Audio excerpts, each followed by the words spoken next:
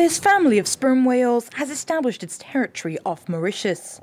It's been followed by a team of scientists ever since filmmaker René Heuzey came across the matriarch of the clan during a dive in 2011. I soon realized there was something wonderful happening in Mauritius, and that was getting to observe a family of sperm whales who are completely wild. For the past 14 years, the filmmaker, along with international scientists, have been observing the lives of these marine mammals. Their study has led to the creation and completion of the first ever sperm whale family tree. It allows us to understand why a specific little one is always with a certain female.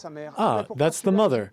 Why does this one play with it? Ah, because that's the cousin, that's the brother, etc we were able to determine the kind of relationships they had between the different sperm whales.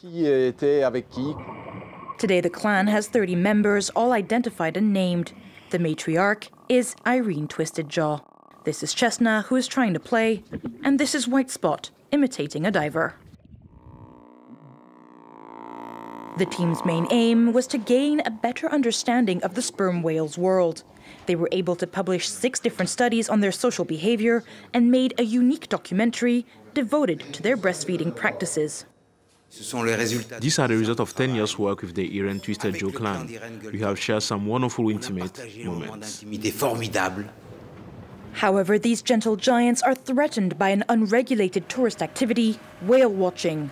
This practice disturbs their natural habitat, prompting the concern of this Mauritian activist.